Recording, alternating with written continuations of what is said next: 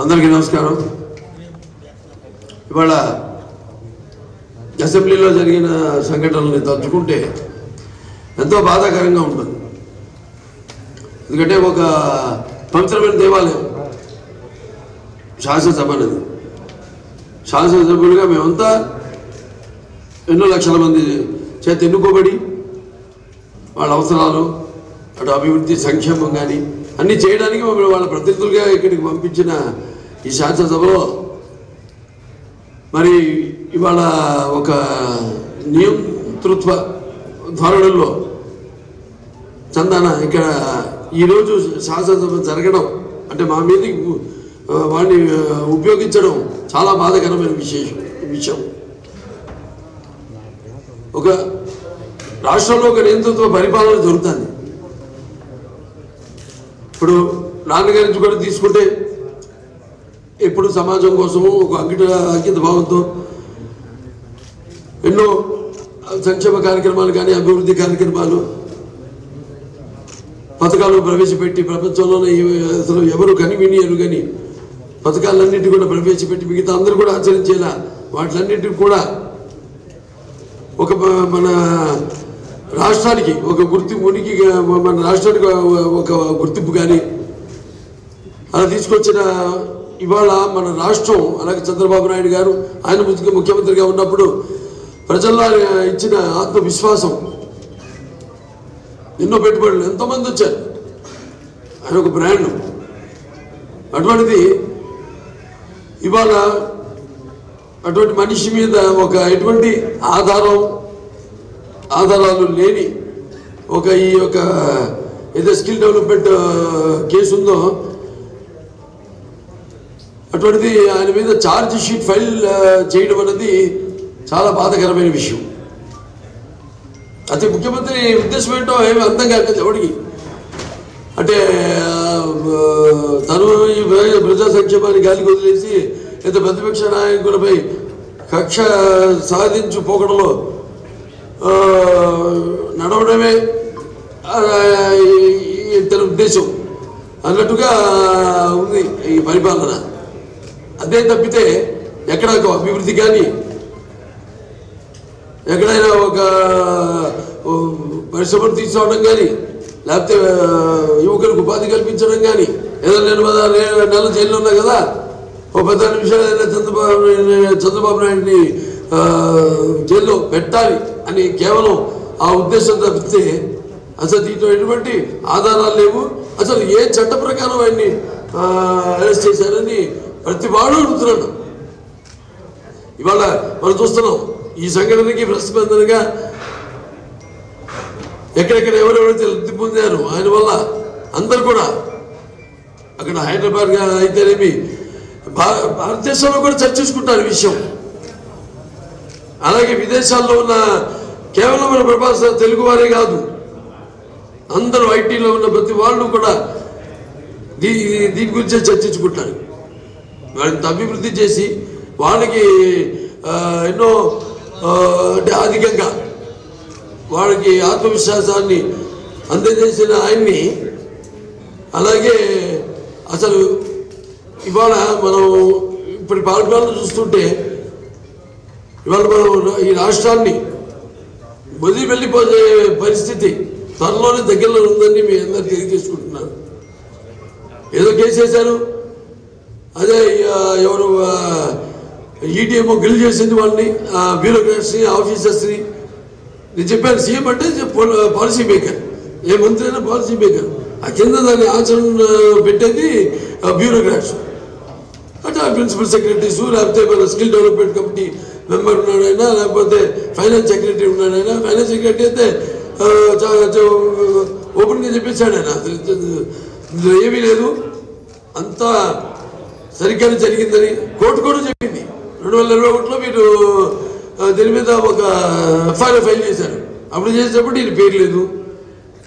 నిజంగా అవినీతి జరుగుంటే మరి ఇంతవరకు ఛార్జ్ షీట్ ఎందుకు చేయలేదు? కేవలం ఈ దాన్ని ప్రజల్లోకి వెళ్ళడం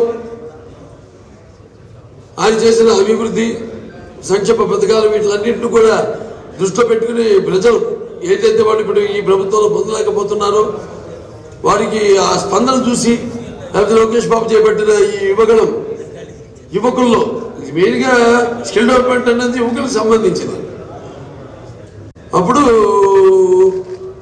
వీటి పేరు ఎక్కడ లేదు. అంటే ఈయన సంతకం లేదు. షెల్ కంపెనీలు ఏవి లేవు. ఎవరు బేనామీలు లేవు లేరు ఎవరు? అటువంటిది అసలు కేవలం ఇది రాజకీయ కక్ష సాధింపు తప్ప చివరికి తెలియదు ఏముండదు. ఇది ఏంటంటే ఇది మైండ్ గేమ్ ఊరికే ఆయన ఇటువంటి చాలా చూసింది తెలుగుదేశం పార్టీ. ఇలాంటి విపత్కర పరిస్థితులు ఎన్నో ఎదుర్కొన్నాం. అండ్ మనకొండ నేను ఆయనతో ములాఖాత్కి వెళ్ళినప్పుడు ఒకటే అడుగుతాను ఆయన. నా రాష్ట్రంలో అయిపోతుంది. ఆయన మాత్రం చాలా ధైర్యంగా ఉన్నారు ఆయన. తప్పకుండా అది ఇద్దరు ఏమి లేనప్పుడు తప్పకుండా ఉంది డెఫినెట్గా రావాల్సిందే ఒక విప్లవం రావాలి. మన వ్యవస్థల మీద కూడా. ఎందుకంటే ఇక్కడ ఉన్న ప్రభుత్వం ఇప్పుడున్న వ్యవస్థలన్నింటి కూడా నిర్వీర్యం చేసేసి యువకులకి ఒక ఉద్యోగ కల్పన లేదు. ఫ్యాక్టరీలు లేవు. ఎక్కడ పరిశ్రమ పరిశ్రమ తీసుకోవడం కానీ పారిశ్రామిక వృద్ధి జరగడం కానీ ఎక్కడా జరగలేదు. మొన్న ఏదో వైజాగ్లో పెట్టారు ఏదో ఇండస్ట్రియల్ కాంక్లేవ్ అని. వాళ్ళు అంటారు కదా అమరావతి మేము జూనియర్ ఆర్టిస్టులు పెట్టి ఉద్యమం నడుపుతున్నాం ఉన్నాయి కదా. వాళ్ళు నిజమైన రైతులు కాదని మరి అక్కడికి వైజాగ్ వచ్చిన వాళ్ళు ఎవరు? జూనియర్ ఆర్టిస్టులు కాదా? వచ్చింది మొన్న? మేము అడిగాం కూడా. ఎవరెవరి చేత మీరు ఒప్పందాలు కుదుర్చుకున్నారు? ఎంత పెట్టుబడి వచ్చింది? ఎంఓయూలన్నీ ముందు పెట్టమని చెప్పాం. ఇంతవరకు లేదు.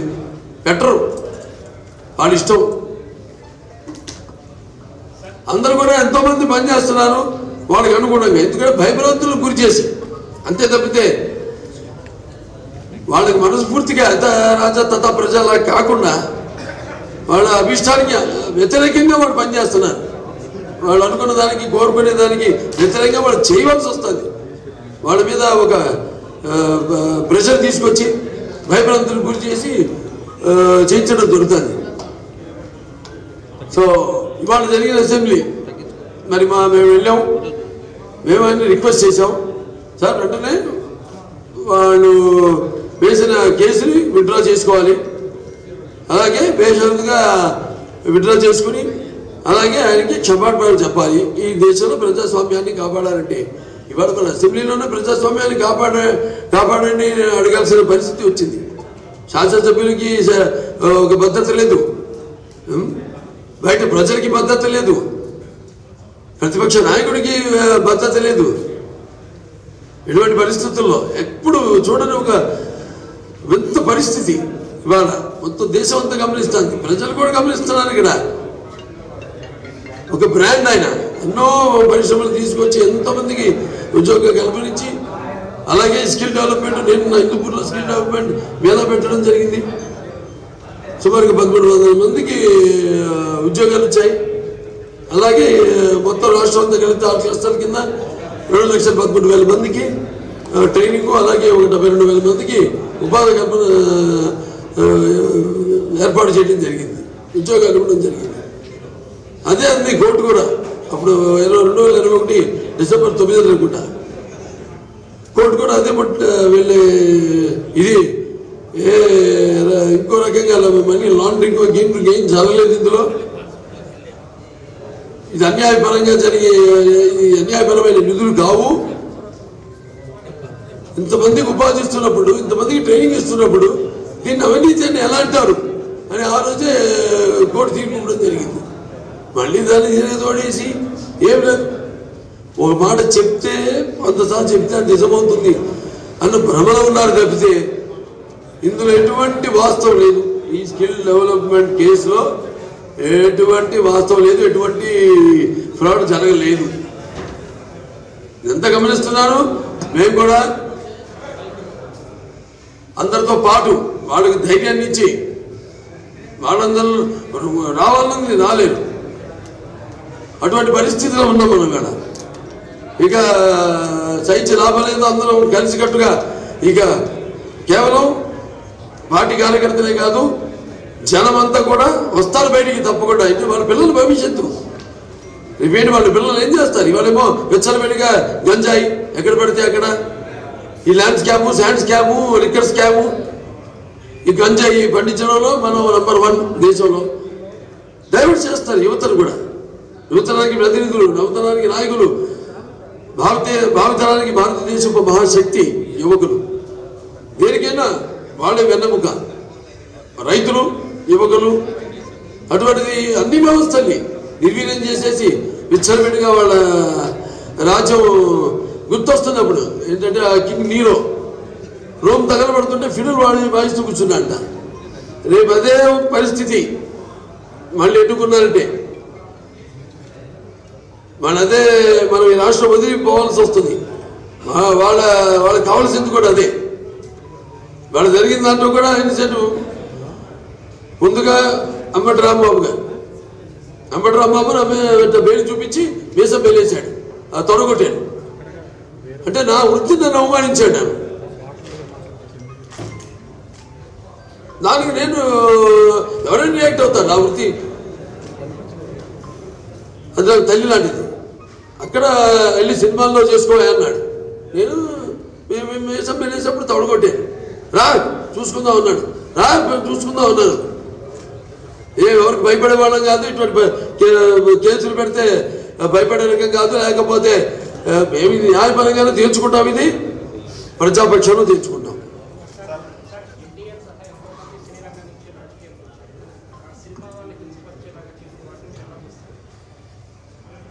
అంటే ఇప్పుడు ఎవరు అలా ధైర్యంగా మాట్లాడలేరండి.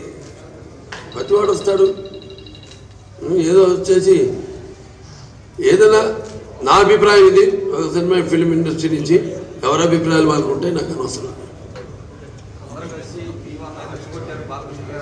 చెప్పా కదా ఇప్పుడు సమాధానం చెప్పాను కదా. చిమ్మిది బిమ్మిని చేసి ఏంటి? నాకు ఎక్స్పెక్ట్ చేయరా నేను ఇలా ముందుకు వస్తానని ఏదో చాలా అదే మిగతా మీరు అందరిలాగే ఏదో హుందాగా ఉంటాను అక్కడ కూర్చుంటాను మా నాడు బాబు అని వాళ్ళు ఎక్స్పెక్ట్ చేసి ఒకసారి ఇద్దరు పోయి బతులు పోయి ఏంటో అర్థం వాళ్ళ కళ్ళు చెప్పగలి ఏం అర్థం కాల వాళ్ళకి? ఏం జరుగుతుంది